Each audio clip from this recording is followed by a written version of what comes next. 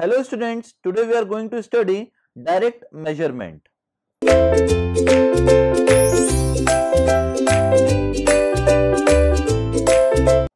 Now, direct measurement can be done by four types that is passometer, pedometer, odometer and the last one is pacing.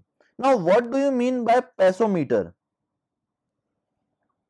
Now, passometer is an instrument shaped like a watch is carried in pocket or attached to one leg. It automatically records the number of paces its mechanism is being operated by the motion of the body. It means that the passometer is shaped like a watch which can be carried in a pocket or can be attached to one leg. Now suppose that we want to measure the distance between these two points that is the linear measurement between these two points. Now from the starting point suppose that we had carried this passometer in our pocket.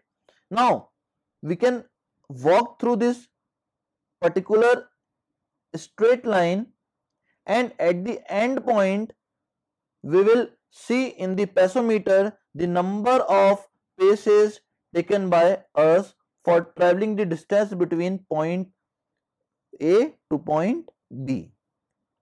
Now, the number of paces can be determined by the passometer and it can be multiplied by the length of one pace so that we can determine this distance that is distance between AB. Now, to, in today's time, MI band, Apple watch both comes with this feature that is measurement of pace between two points. Okay students? Now its mechanism is being operated by the motion of the body. It means that the distance which we will travel along the two points can be easily determined with the help of passometer by giving the data of number of pace taken between A and B. Now we will just multiply this with the length of one pace so that we can determine the linear distance between two points that is passometer. Now the next one is pedometer. Now the device which measure the distance automatically is known as pedometer. It is similar to passometer but difference is that passometer counts the number of paces whereas pedometer records the distance. It means that this device is also same as passometer. It can be carried in our pocket or can be attached to one leg. But passometer counts the number of paces and for the computation of linear distance between two points we need to multiply the number of paces with the one pace length so that we can determine the distance between two points that is A and B. But in pedometer, it directly measures the distance between two points that is A and B. Now in this pedometer, we can adjust the length of the pace according to the person which will carry that pedometer. Okay student, so it is somewhat more advanced instrument as compared to passometer because passometer measures the number of paces whereas pedometer measures the distances directly. Now the next one is odometer or speedometer which comes in our vehicle.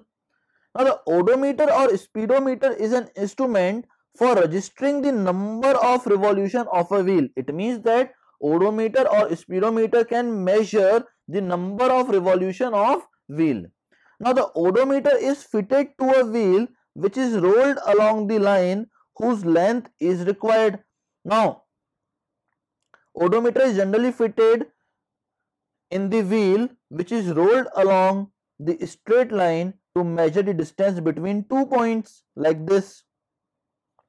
Now the number of revolutions registered by the odometer can then be multiplied by the circumference of that wheel to get the distance between two points. It means that odometer will directly multiply the circumference of the wheel with the number of revolution of wheel between two points that is A and B so that we can determine the linear distance between two points that is A and B. Now this type of instrument is known as odometer or speedometer. Now the next one is direct measurement by pacing. Now how can we do the pacing? In previous time when we play cricket we can measure the length of the pitch by just walking from one point to the last point and we can just travel 20 number of paces and we can just say that this length is 20 yard. Now that is known as pacing.